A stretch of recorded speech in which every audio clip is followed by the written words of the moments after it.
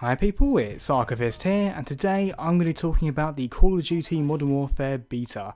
There's quite a lot to unpack about this, and I've only got about 10 minutes, so let's go straight for the throat, the minimap. Should we have it in this game?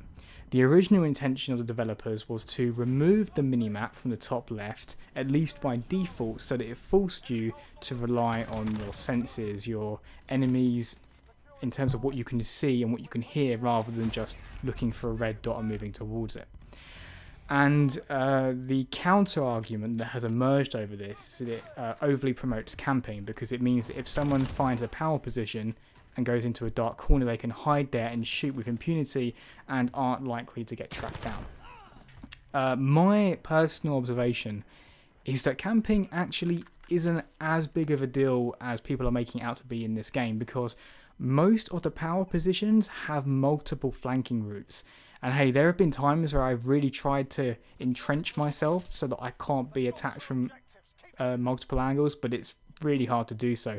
When it comes down to grenades and stuns, flashbangs, if you're hiding in a corner, remember you're going to be appearing on the compass, so you're not going to be invisible uh, you can be tracked down and killed. So my opinion was that camping is actually not too big of a deal in this game. Of course, it really does come down to your definition of camping. For some people, defending a point in domination, as I'm doing in this gameplay, would count as camping because I'm not running around looking for kills like a madman, um, which I'm very much against branding as that because the point in domination is to take flags and then defend them, right?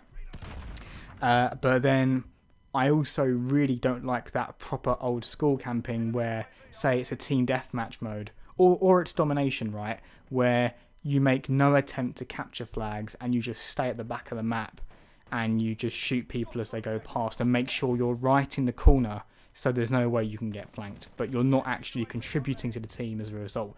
For me, that's what really makes uh, camping bad is when it's coming at the expense not just of the enemy team and how fair confrontations are, but also it's coming at the expense of your own team because you're not contributing um, to the objective. So that's why I do kind of like domination because if you try and do proper, true old school camping in domination, your team's going to lose, right? So it really promotes you to to be active in that. In team deathmatch, I feel like there aren't enough incentives to get you moving, uh, and so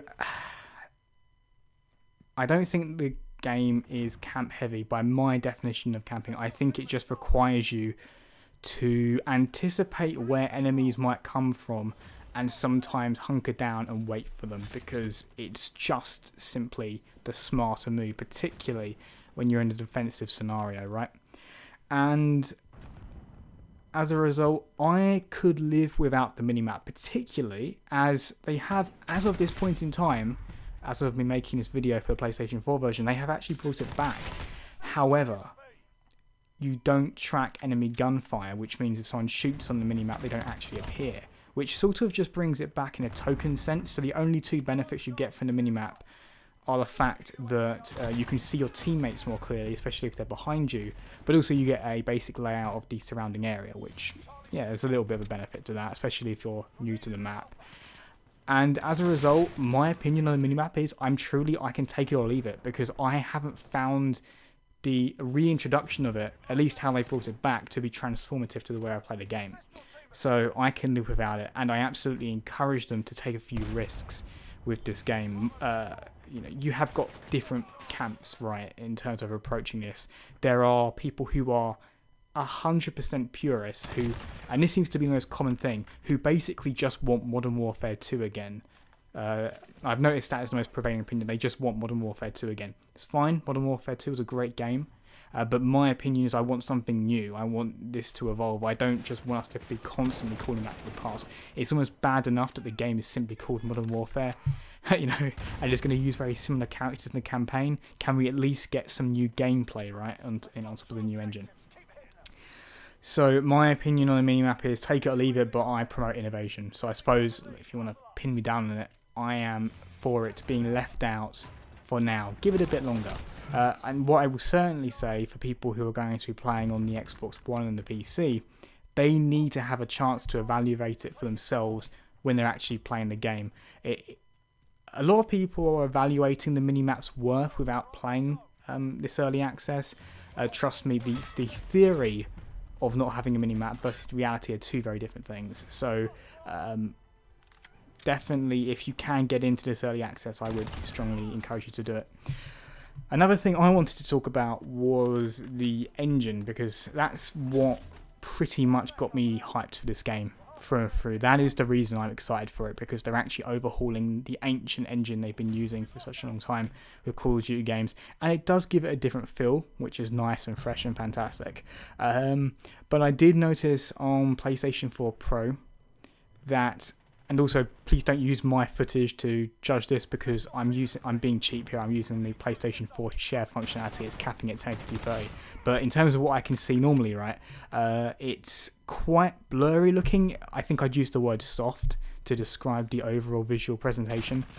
And the frame rate isn't a perfect 60 it is much better than the alpha. I don't think enough people appreciate that. It is significantly better than the alpha but it is not on the level of your typical COD multiplayer experience. So there's a little bit more work to do there. But I, I have to admit the image is quite soft. However, of course, the greatest benefit is the overall underlying visual fidelity is up. Especially lighting, I found the lighting and shadows. Shadows were impressively uh, well rendered even from a distance. So for example, if you see a ladder and ladders will cast finer shadows when you hit the rung, I was amazed at how right, uh, high resolution sorry the shadows were so the underlying tech here is great. And if you're someone, let's say you're someone who owns a, uh, PS4 Pro and you use a 1080p screen, there are plenty of people who do that. This will be an upgrade through and through to you. I think it's more uh, maybe sort of a side grade, if you will, if you have a 4K screen, because you might think that the game, say compared to Black Ops 4, has gotten a bit blurrier, even if, again, the underlying visual fidelity has improved. Another thing would be the kill streaks. So You've got personal radar, which brings up the minimap. Uh, you've got UAV that we can use. There's chopper gunner, which I've not got to yet because I am not good at this. I will. I'll be frank with you guys. You might see I am not great at this. And then you've also got the cruise missile, which is very reminiscent of the old school Predator missile. And I love the cruise missiles animation uh, for when you summon it. It does take a while, and I don't know how I feel about that because when you're actually using it, of course, it means you are vulnerable for longer, and therefore it is a negative in terms of practical use.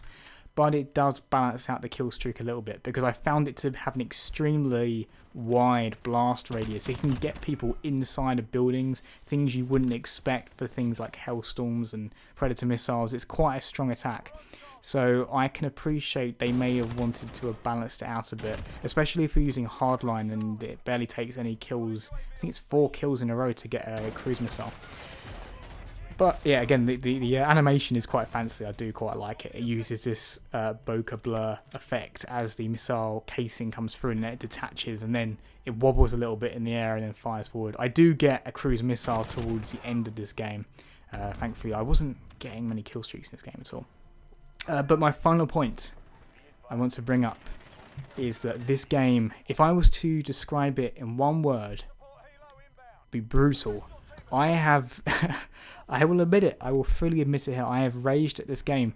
The time to kill I think is so low that although it makes it deeply satisfying to kill people, it also conversely makes it extremely frustrating to die because especially if you're caught slightly off guard, there are many situations where like I just did not have time to react to that. There was nothing I could do to retaliate, right?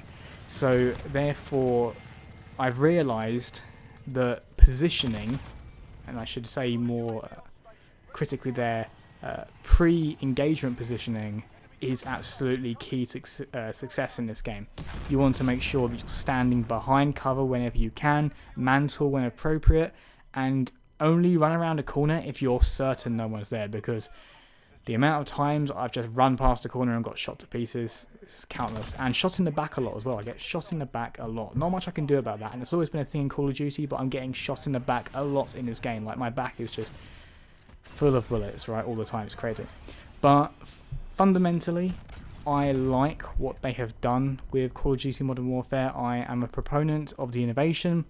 It's unfortunate that we've seen further evidence of, you know supply drops, but I've in some of my more recent videos I've highlighted that I knew that's going to happen, but I'm I'm just focusing on the gameplay for now.